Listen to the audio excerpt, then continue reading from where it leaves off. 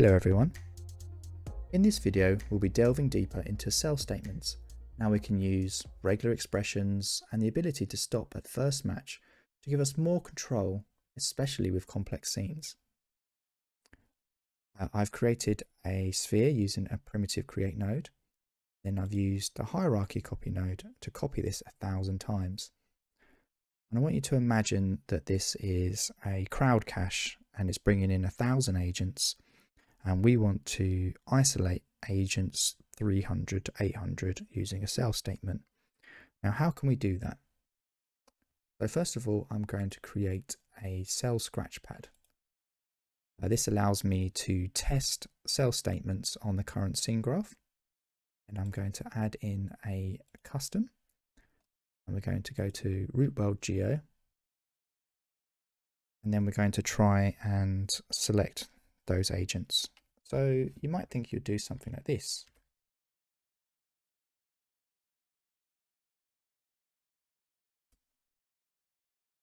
And that would select everything that is sphere 0, 3, and then two more characters. And I'll select all of our 300s. And then you would copy that and do the same thing again for 4 etc., uh, etc. Et As you can imagine, when you're doing a lot, it's going to uh, end up being quite tedious. So is there another way? There is. What we're going to do is use uh, regular expressions or regex. Uh, regex is a powerful way of using search patterns on your text, uh, which gives you a lot more flexibility in your searches. So how do we do that? Uh, we're going to use an open bracket and we're going to target the attribute of name. And then rather than using the usual equals equals to say the name equal is equivalent to this, we're going to use regex. And to do that, we use tilde equals instead. Once we use tilde equals, it knows this is going to be a regular expression and it will evaluate that. And then what we can do is say sphere 0, and then anything that is from 3 to 8, close bracket. And that is it. Let's run this instead. There you go. We've now selected 600 locations. Very simple uh, bit of CEL expression here. Okay. Uh, now let's have a look at a real scene and see some of the ways that we can use this as well. So over here, I'm going to select this and load up my scene. Now, uh, you can imagine when we're looking at uh, the name, there'll be a lot of scenarios where we have uh, different naming conventions. So for example, if we're looking at glass, it could be lowercase g for glass and then uppercase g for glass and that can make things um, quite tricky and your CEL statement very long. Uh, but we can use regex instead to make it simpler. So let's first of all uh, start with something more traditional uh, and then we'll transfer that into regex like we've done before. Okay, so let's say we're searching all the way through our scene. We're looking for anything uh, that is a window. So let me just expand out my scene. Or Just an idea of what this is. We've got this house and we've got some windows that we'd like to isolate. Um, now this scene is uh, created by a Portuguese studio, so we're going to use the Portuguese word for window, uh, which is janela. Uh, so we would do janela That's going to find all of our windows. Okay. And you'll notice that it's also selected the wall. So if I select one of these walls, uh, you'll see it's uh, got Janela in the name, but it's got uh, Parid in the wall in the name as well, which means wall. So let's exclude the walls. So I'm just going to copy this and then change it to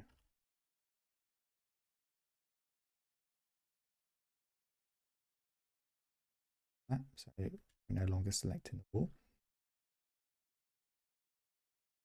And then um, let's have a look at this flower bed. Now, this has uh, Janela in the name, but it's a capital J. And this happens all the time with naming conventions, and you can expect that. So uh, we need to also get it with a uppercase J. So we're going to copy this and choose that. And now we're selecting the flower bed as well. So we have all of our windows. Good times. Now let's say on top of that, we also want to select everything that is glass in the scene. Okay, now um, the Portuguese for glass is vidro. Um, so we're going to add that in. And again, we're going to have, uh, if it's lowercase or uppercase, changes to vidro. Just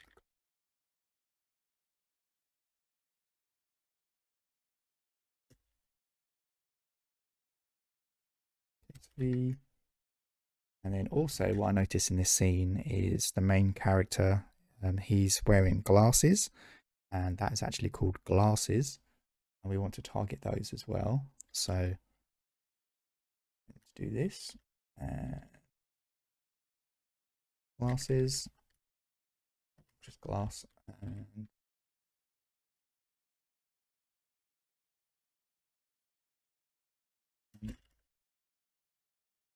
G as well. Okay, now let's collect all of this. And now you notice that it's picking up uh, our materials that have got glass in the name. So let's exclude that. So when we're getting the glass, to say at type does not equal material. I'm just going to copy that, do that on the other class. Let's just make this bigger. So okay, and let's collect this. And then let's have a look inside my scene. We're collecting the glass on the frame here. Just going to select some of this so we can look our scene a bit easier. This. And yeah, we're collecting uh, the windows and we've got uh, the main character Giles glasses as well. I'll just uh, click on this. You can see uh, we've got glasses here lowercase and we've got glasses here uppercase. So again, it's another case uh, where you have different cases. So how can we make this uh, all as one regex? Let's um, add another custom and let's do that.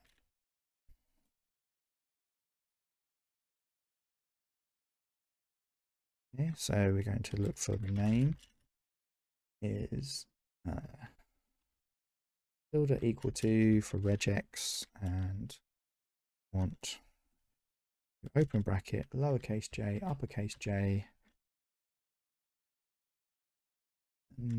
Nella. Or lowercase g uppercase g pass or lowercase v, uppercase V, vidro.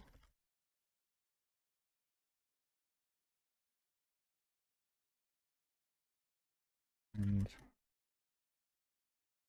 type not equal material and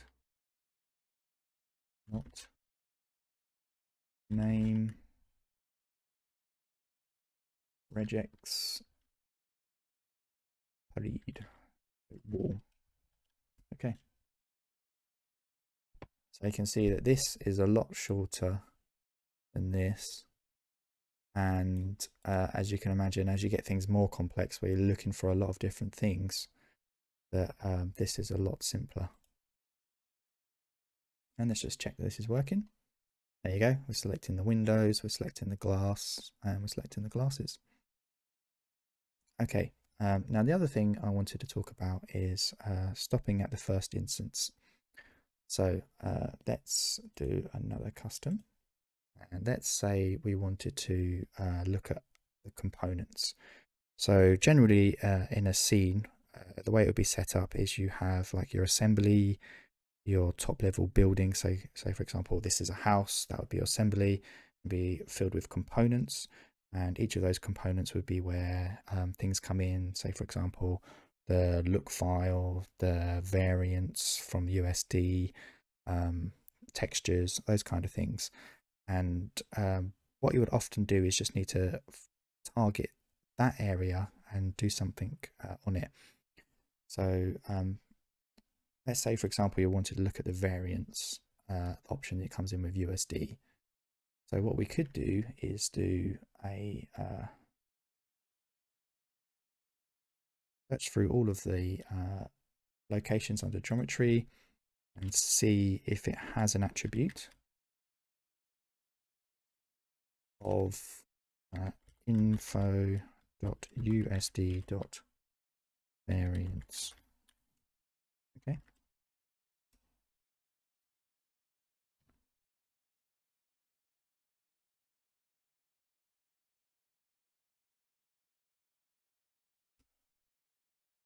So has attribute info USD variance. Let's find anything that has variant options. Um, let's just actually uh, collapse all this and research. That's easier to find the ones it locates. So our uh, character Zhao has variants. So you can see here shirt types that you can choose. And our TV um, here has uh, variants of different colors for the light for the TV. Okay, now um, when you do this root world geo slash dash star, it's going to look at every single location. Um, but let's optimize this a bit by only looking um, at components. So if we get to a component and it doesn't have it, then don't keep going further down. Instead, just move on to the next branch. So the way we do that is before the asterisk, uh, we have at type is equal to component. So all that will do is stop at the first instance of component. Does it have this attribute? And if so, um, then that'll be a match. And this means it will not continue down um, at any more uh, than the component level. So it'll stop here so let's do that again, just to show that it's working and it's selecting these. Now I'm just going to, if I change this to component, yeah, okay, uh, I'll just get rid of uh, the first one just for a sec. And I search now, and it selects all the components. I just want to show you here with, with the uh, environment house group, we have this environment house as a component and inside there it contains components. Uh, and I just want to show that if I do this, it's going to stop at this first component here and then not continue down and find these other ones. Okay, as you can see, these uh, components underneath this component aren't being selected. Now, normally uh, when I've worked at studios, it's had it so that anything that's a component of component is called a subcomponent and it wouldn't have this. So it would be legitimate to stop at the first component. Um, but that's just uh, showing you that this is actually working and stopping here and not continuing and finding these.